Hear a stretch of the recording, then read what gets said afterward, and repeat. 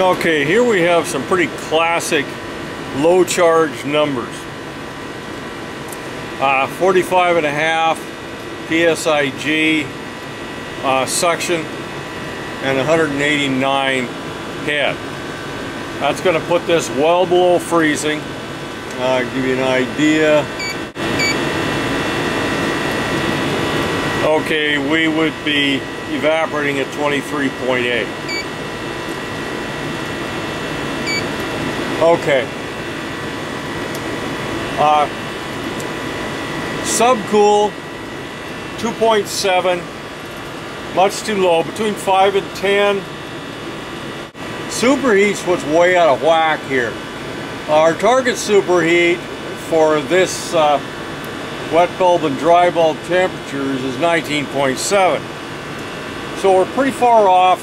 You can put your hand here on the suction line coming out of the uh, evap and it's almost lukewarm so uh, we're going to start adding charge to this thing.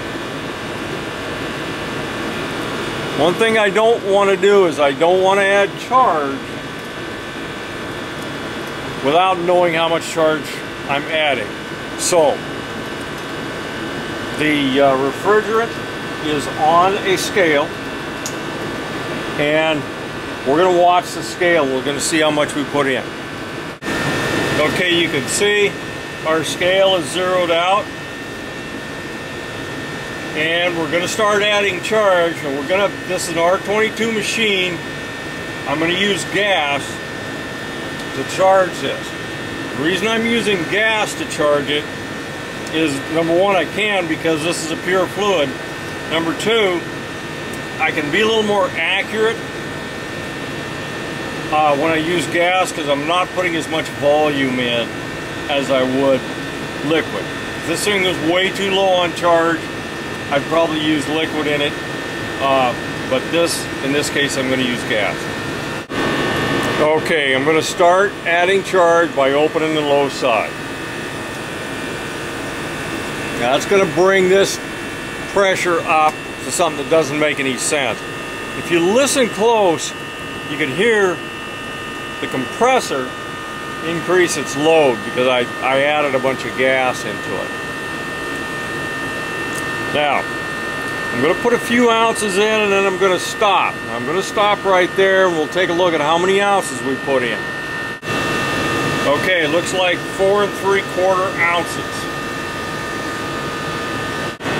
Now remember, this unit's been running for about 15 minutes because it does have to settle down before you can make any real sense about what these things are doing. So let's see what's happened here.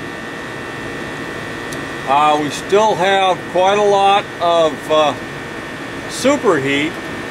We're subcool 5.7. Let that settle for a little while.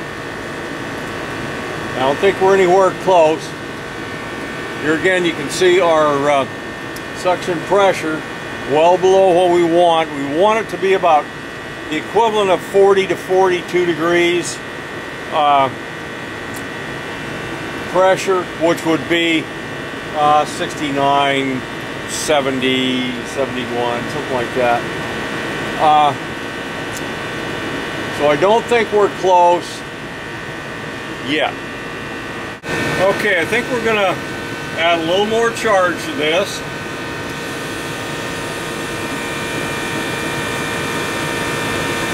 Remember, we're adding gas, so we can add as we can open it up as much as we want. Won't harm it.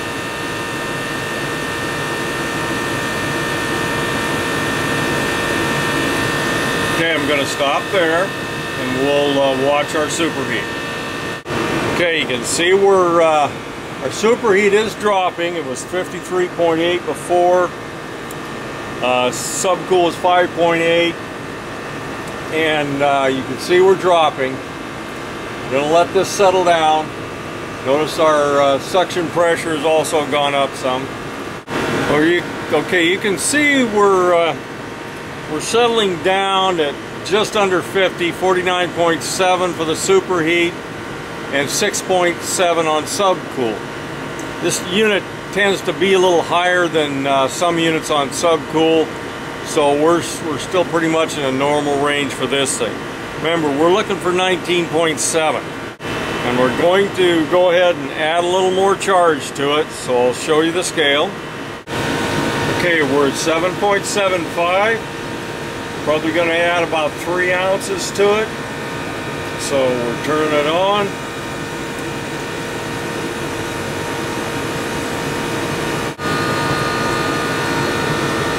Going to call it good there and we'll check our super heat again.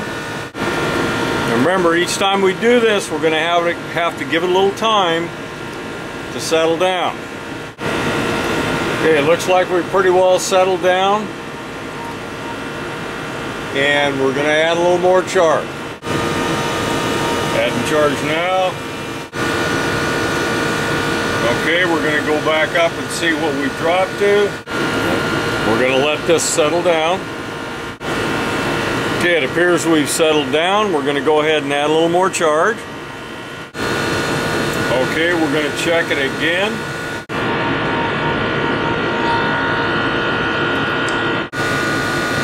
Okay, looks like we're we've got a little more charge. We're going to go back up and see what's happened to our uh, superheat subcool.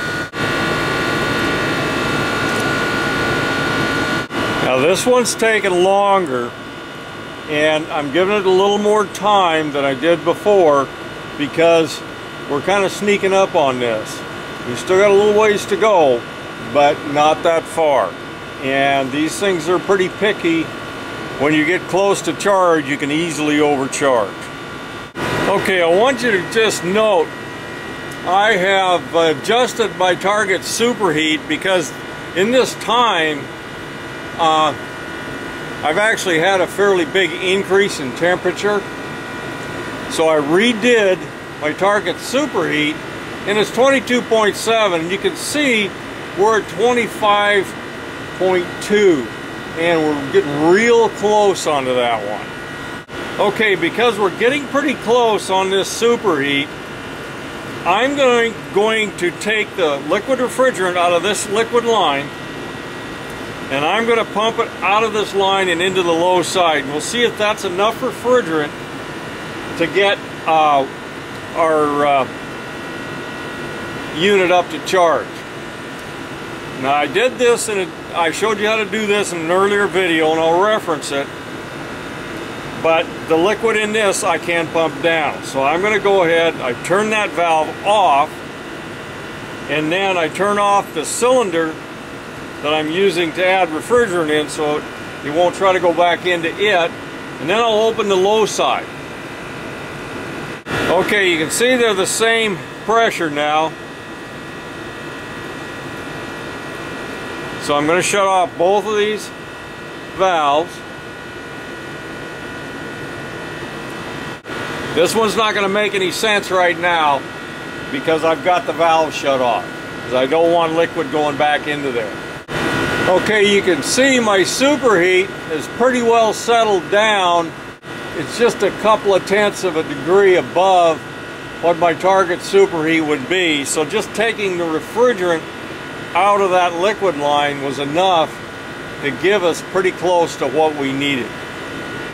Okay, looking at this, we're probably even a little bit lower than we should be, but I'm going to call that good. Well, that's Target Superheat. These are very, very picky machines. They got to be right on the money. Okay, as a last test, we got a pretty high ambient uh, here at the indoor unit, 85.8, and we're going to check the supply uh, temperature. Okay, they go what? We have 64.7, we'll call that 65. So it was 65 to 85 and a half. So we'll call it, oh, we'll call it 21 degree split across the coil. That's about right.